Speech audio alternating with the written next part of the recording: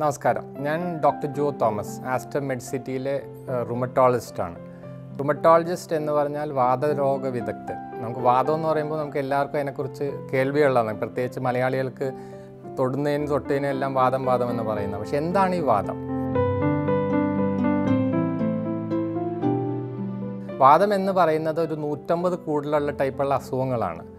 അത് തലമുടി തൊട്ട് കാലിൽ ഏത് രീതിയിലും ബാധിക്കാം. അതാണ് ഈ വാദരോഗങ്ങൾ. അപ്പോൾ ഇതിനകത്ത് മെയിനായിട്ട് ജോയിന്റുകൾക്കുള്ള വേദന. അപ്പോൾ വേദന നീര് അല്ലെങ്കിൽ അത് അനക്കാൻ ബുദ്ധിമുട്ട് ഉറങ്ങുമ്പോഴുള്ള വേദന കൂടുതൽ. അത് കാൽ പല പല ജോയിന്റിലാകാം അതിപ്പോൾ ഒരു ജോയിന്റിലാകാം നടുവേദനയാകാം അങ്ങനെ പല വേദനകളാണ്. പ്രീമിയൻലി ഇതെല്ലാം വേദനകളാണ്. ഇത് കൂടാതെ ഈ വാതരോഗങ്ങൾ തല തൊട്ട് കാൽ വരെ ഏത് ഭാഗങ്ങളെയും ബാധിക്കാം. ചിലവർക്ക് കണ്ണ് ചുമപ്പായിരിക്കാം വരുന്നത്. ചിലവർക്ക് വായുടെ പൊട്ടലകളായിരിക്കാം. ദേഹത്ത് ചുമന്ന കുത്തുകളായിരിക്കാം. അപ്പോൾ ഇത് ജോയിന്റുകളെ മാത്രം ബാധിക്കുന്നതല്ല വാദം. വാദം നമുക്ക് സത്യം പറഞ്ഞാൽ ഈ ജോയിന്റിനെ എല്ലാവരും വിചാരിക്കും ജോയിന്റിന് മാത്രമല്ലേ എന്ന് ഓർത്തിരിക്കുന്നതാണ്. പക്ഷെ അതല്ല ഇത് ആന്തരിക അവയവങ്ങൾ കിഡ്നിയെ ബാധിക്കാം ഹാർട്ടിനെ ബാധിക്കാം അങ്ങനെ പലതും ബാധിക്കാം. അപ്പോൾ ഇത് ഞാൻ നേരത്തെ പറഞ്ഞ ഒരു നൂറ്റമ്പത് ടൈപ്പ് കൂടുതലുണ്ട്. ഇപ്പം നമ്മളെപ്പോഴും അത് മാത്രമല്ല എല്ലാവരും വിചാരിക്കുന്ന വാദമല്ലേ പ്രായമുള്ള ഒരു അസുഖമാണ്. സത്യം പറഞ്ഞാൽ ഒരു വലിയ തെറ്റിദ്ധാരണയാണ്. കാര്യം ഇത് നമ്മൾ ജനിച്ചൊരു കൊച്ചിന് തൊട്ട് നൂറ് വയസ്സ് തൊട്ട് ആർക്ക് വേണമെങ്കിലും വാദം വരാം. പിള്ളേർക്ക് വരുന്നത് ജുവനൈൽ ഇഡിയോപ്പതിക് കാത്രൈറ്റിസ് എന്ന് പറയുന്നതാണ്.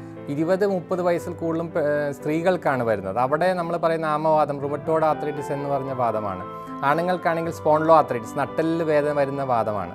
ഇത് കൂടാതെ നമ്മൾ പ്രായം തോറും അത് സന്ധിവാദം അല്ലെങ്കിൽ അങ്ങനെ ഇതാണ്. അപ്പോൾ ഓരോ പ്രായം അനുസരിച്ച് ഈ വാദം പല ടൈപ്പ് വരുന്നു എന്നേ ഉള്ളൂ. പക്ഷേ ഏത് പ്രായത്തിലും ഏത് ടൈപ്പ് വാദങ്ങളും വേണമെങ്കിലും വരാം. അപ്പോൾ ഇതിനകത്ത് ഏറ്റവും ഇമ്പോർട്ടന്റ് നമ്മൾ എന്ന് പറഞ്ഞാൽ വാദം കണ്ടുപിടിക്കുക എന്നാണ്. നമുക്ക് പണ്ട് നമ്മുടെ ഒരു പഠിപ്പിച്ചിരുന്ന ഡോക്ടർ പറഞ്ഞിരുന്നതാണ് ഡയഗ്നോസ് ചെയ്ത് കഴിഞ്ഞാൽ ഏത് പോലീസുകാരനും ട്രീറ്റ് ചെയ്യാമെന്ന് അപ്പോൾ അതുകൊണ്ട് നമ്മൾ ഏറ്റവും ഇമ്പോർട്ടന്റ് ഈ അസുഖങ്ങളിലെല്ലാം അസുഖം കണ്ടുപിടിക്കുക എന്നാണ്. കണ്ടുപിടിച്ചാൽ നമുക്ക് ഫലപ്രദമായ ചികിത്സ പലതും ചെയ്യാൻ പറ്റും. ഇതെങ്ങനെ കണ്ടുപിടിക്കാൻ പറ്റും? കണ്ടുപിടിക്കുന്നത് പൊതുവേ നമ്മളിത് ഒരു ക്ലിനിക്കൽ ഡയഗ്നോസിസ് അല്ലെങ്കിൽ ആളുടെ കംപ്ലീറ്റ് ലക്ഷണങ്ങൾ വെച്ചിട്ടാണ് നമ്മളൊരു ഡയഗ്നോസിസിലേക്ക് എത്തുന്നത്. എന്നിട്ട് നമ്മൾ ഓരോ പർട്ടിക്കുലർ ടെസ്റ്റുകൾ ചെയ്ത് ഇതിനുവേണ്ടി സ്പെസിഫിക് ആയ ടെസ്റ്റുകളുണ്ട് ഇ എസ് ആർ അല്ലെങ്കിൽ എ എൻ എ അങ്ങനെ കുറേ R A factor C C P അങ്ങനെ പല പല ടെസ്റ്റുകളുണ്ട് അപ്പോൾ നമ്മൾ ഈ ലക്ഷണം ഏത് ടൈപ്പ് വാദം കാരണം ഈ നൂറ്റമ്പത് വാദത്തിന് വേണ്ടി ഒരുമിച്ച് നമുക്ക് ടെസ്റ്റ് ചെയ്യാൻ പറ്റില്ല. ലക്ഷണം അറിഞ്ഞിട്ട് നമ്മളൊരു മൂന്നോ നാലോ വാദങ്ങളായിട്ട് ഇത് കുറയ്ക്കും. ആ വാദത്തിന് വേണ്ടി നമ്മൾ മാത്രം ടെസ്റ്റ് ചെയ്ത് ഡയഗ്നോസ് ചെയ്യും. ഡയഗ്നോസ് ചെയ്ത് കഴിഞ്ഞാൽ നമുക്ക് പിന്നെ അതിന്റെ ഫലപ്രദമായ വാദം അനുസരിച്ച് ചികിത്സ തുടങ്ങാൻ പറ്റും. അപ്പോൾ പണ്ടത്തെ ഇപ്പൊ കാലം പോലെയല്ല. ഇപ്പോൾ നമുക്ക് പാദത്തിന് ഭയങ്കര ഫലപ്രദമായ ചികിത്സകളുണ്ട്.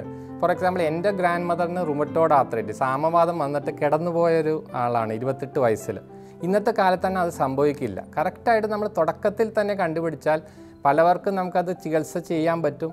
അത് ചെയ്ത് കഴിഞ്ഞാൽ നമുക്ക് ചിലവർക്ക് കംപ്ലീറ്റ് ആയിട്ട് ക്യൂറബിൾ ചെയ്യാൻ പറ്റുന്ന പല കണ്ടീഷൻസും ഉണ്ട് വാദങ്ങളിൽ. അപ്പോൾ ഇത് ഡയഗ്നോസ് ചെയ്ത് എത്രയും പെട്ടെന്ന് ട്രീറ്റ്മെന്റ് ആരംഭിക്കുന്നതാണ് ഏറ്റവും ഇമ്പോർട്ടന്റ്